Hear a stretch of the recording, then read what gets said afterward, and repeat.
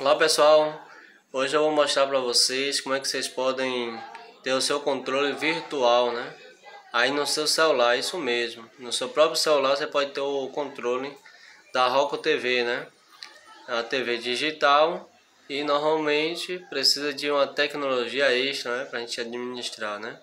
Então normalmente, peraí que eu vou mostrar para vocês aqui o controle que a gente tem. Esse aqui é o controle, né? Que nós temos, né? Que é da da Roku TV, né, que vem junto. Mas eu vou mostrar para vocês um controle, né, que vocês podem utilizar aí no seu celular, né? Então vocês vão baixar basicamente o aplicativo aqui, ó. Então vocês vão baixar esse aplicativo aqui, que é o da Roku TV, viu? Eu vou botar, vou botar aqui no canal, tá bom? Vou botar aqui na descrição do vídeo para vocês poderem baixar diretamente aí no seu celular. Então você vai baixar esse aplicativo da Roku TV, né? A Roku Remoto.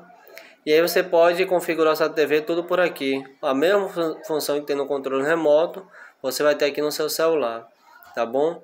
Aqui eu botei aqui, tem duas funções aqui, ó. Tem para poder mexer com o controle, né?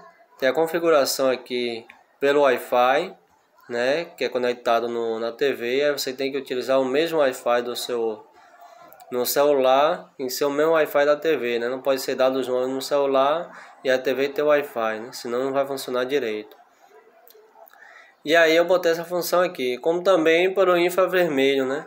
O infravermelho, é, para característica aqui no, seu, no celular, né? Normalmente tem, mas ele fica mais difícil de pegar, né? Porque por causa do, normalmente, aqueles aparelhos novos que nós temos smartphone, o infravermelho dele é fraco, né?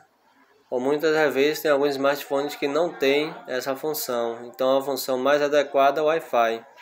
Aí eu fui e coloquei aqui, eu configurei a minha, botei sala de estar, né? E o TV, você vai entrar aqui, ó. É claro, tem a propaganda, né? Não tem jeito. Pronto, e aqui está, né? O controle. O mesmo controle que você tem que é o controle manual que você tem da sua TV, é o mesmo que vai aparecer aqui no seu celular, né? Então você pode mexer em tudo aqui, desligar a TV, a seta de sair, né? Voltar para a página inicial, menu principal, né? Aqui você vai aumentar, fazer a mudança nos né? canais. Para que eu mostrar aqui a vocês, ó. Mostrar a vocês aqui como é que funciona, ó. Aí aqui a seta para vocês só ajeitar rapidinho aqui. Eita. Agora. Pronto a seta, ó. Abaixo. Tá vendo?